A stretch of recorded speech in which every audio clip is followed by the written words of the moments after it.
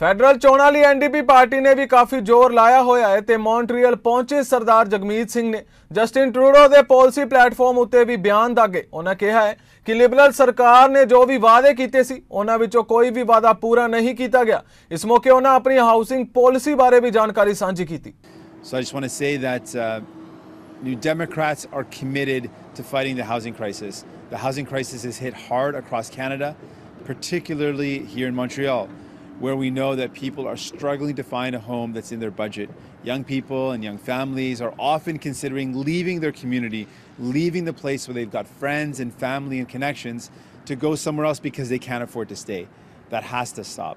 I want to acknowledge the incredible work of Sophie Thiébaut, our candidate, and how she has been a, a strong fighter for people.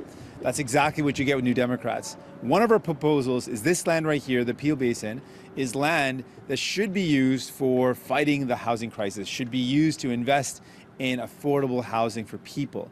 Instead of that, Justin Trudeau looks like he wants to prioritize giving this land to a rich developer, someone who's got connections to the Liberal Party.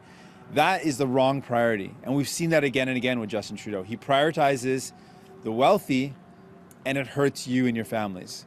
We believe that federal land should be used towards investing in opportunities to fight the housing crisis, to build affordable homes so that people can find something that's in their budget, a place to call home.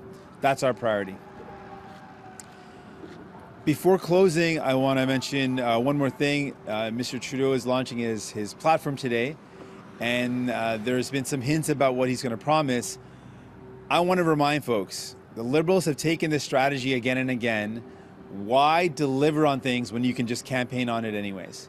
Why get things done when you can just promise it?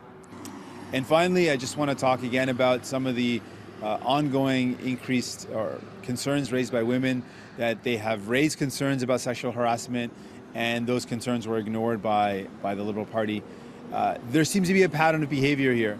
The concerns of women in the armed forces were completely ignored. The Deschamps report, which said very clearly that we need an independent process for women to come forward with uh, serious concerns, that uh, that recommendation was completely ignored. Another example of not listening to women, not hearing them out. And we're just seeing another, more examples of that coming forward. And to me, that's deeply troubling. We have to uh, take sexual harassment seriously, make sure women feel safe in the workplace, and that's something that we're committed to doing.